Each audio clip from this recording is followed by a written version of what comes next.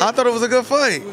I thought, you know, all the, I mean, you know, the things with the, the, the trash talking. I was talking with my, my youngest son, playing with the crowd. I think I thought it was a. I had fun. Floyd, what emotions were going through you in the last 10 seconds of the 12th round? Um, uh, none at all. It's, it, it finally ended. I was trying. I was looking for the knockout. Yeah. You know, if you look right here, when I was throwing the hook, I stopped throwing the jab for a while because I hurt my uh, my left and my right hand. My two knuckles dropped.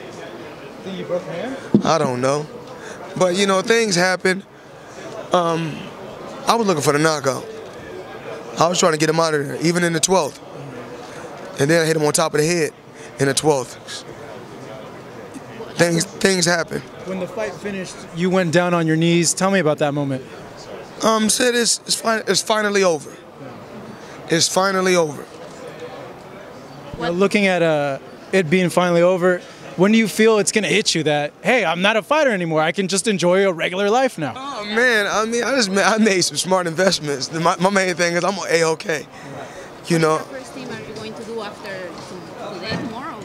um, to just go home and just hang out with my children. You know, no clubbing, no nothing. Just go home, hang with the children. Um, get up tomorrow and watch some football. Floyd, what do you tell all the fans and all the celebrities here tonight? They told me nobody wants to see you retire. They want to see you come back. Um, I thought they said I was a born fighter. I thought all they said, all I do is hold. All I do is hold. All I do is run. Now everybody misses Floyd Mayweather. Oh, okay. Floyd, what does it mean for you to go out on your terms, not on anybody else's terms, but you to make the decision, you know what? This is it. I don't care what all you guys say. I'm out of here. I- I'm done. I mean, I think it was it was a. I think I just had a game plan. I had a brilliant game plan. The game plan was to be out, be very outspoken. You know, I was born with personality. I was born with charisma.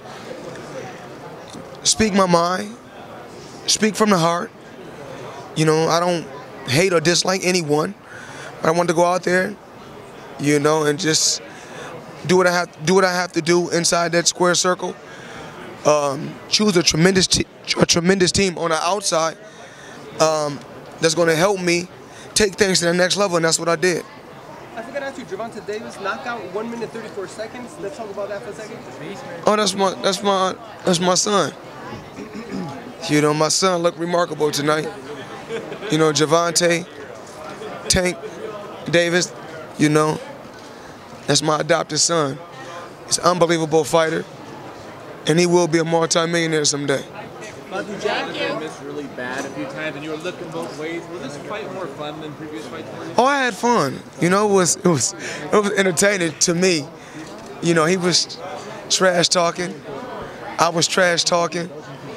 And um, Kenny Bayless came between us and told us to stop trash talking.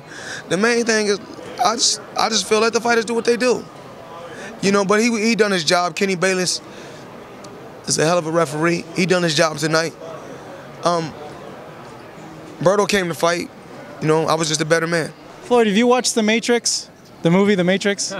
because you look like you were in The Matrix, like dodging those jabs. Uh, Do you see those punches in slow motion? I seen it on the uh, on the on the jumbotron. I seen it on the jumbotron after each round. I was joking. I was talking to my father. I had fun. It was, it was a great night tonight.